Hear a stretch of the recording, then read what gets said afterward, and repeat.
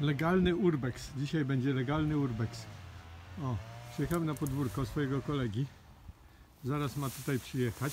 Będziemy oglądali co jest w środku. Odziedziczył taki dom. Duży gierkowski dom.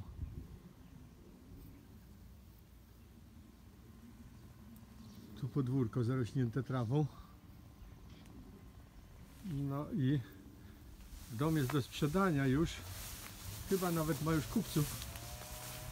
Jeszcze przed sprzedażą chciałbym, chciałbym zobaczyć co jest tam w środku. To była bogata rodzina, ale losy jej tak się złożyły, że niestety dom został sam.